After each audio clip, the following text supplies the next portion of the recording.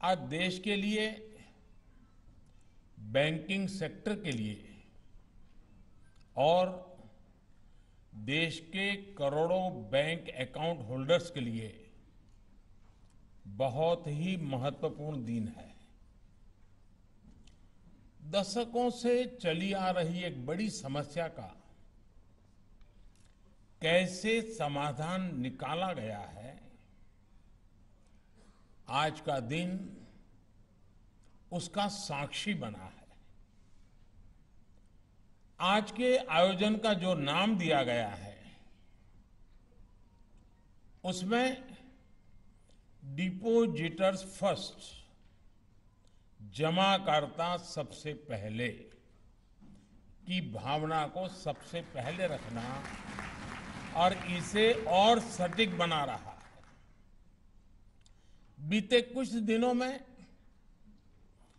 एक लाख से ज़्यादा डिपॉजिटर्स को बरसों से फंसा हुआ उनका पैसा उनके खाते में जमा हो गया है।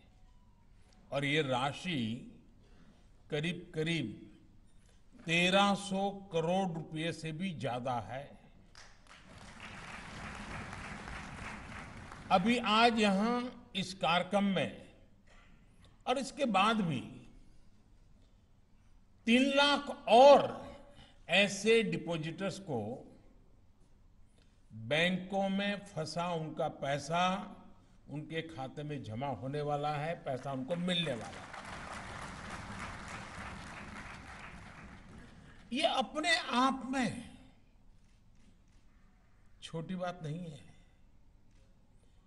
और मैं खास करके हमारे देश को हमारे जो मीडिया के साथी हैं, आज मैं उनसे एक रिक्वेस्ट करना चाहता हूँ। और मेरा अनुभव है, जब स्वच्छ, स्वच्छता अभियान चला रहा था, मैंने मीडिया के मित्रों को रिक्वेस्ट की, आज भी उसको वो बराबर मेरी मदद कर रहे हैं। आज मैं फिर से उनको एक रिक्वेस्ट कर रहा हूँ। हम जानते हैं कोई बैंक डूब जाए तो कई दिनों तक खबरें फैली रहती है टीवी पर, अखबारों में।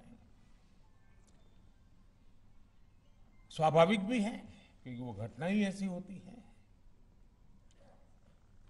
बड़ी बड़ी हेडलाइंस भी बन जाती है, बहुत स्वाभाविक है। लेकिन आज, जब देश ने एक बहुत बड़ा रिफॉर्म किया, एक बहुत बड़ी मज़बूत व्यवस्था शुरू की है डिपॉजिटर्स को, जमाकर्ताओं को उनका पैसा वापस दिलाया जा रहा है मैं चाहूँगा कि उसकी भी उतनी ही चर्चा मीडिया में हो बार बार हो। इसलिए नहीं कि मोदी ने किया, इसलिए करना है। ये इसलिए ज़रूरी है कि देश के डिपॉजिटर्स में विश्वास पैदा हो। कि हो सकता है कुछ लोगों के गलत कारणों से, गलत आदतों से कोई बैंक डूबेगा? हो सकता है। लेकिन जमाकर्ता का पैसा नहीं डूबेगा। जमाकर्ता का पैसा सुरक्षित रहेगा। ये मैसेज से देश के जमाकर्ता में विश्वास पैदा होगा, बैंकिंग व्यवस्था पे भरोसा पैदा होगा। और ये बहुत ज़रूरी है।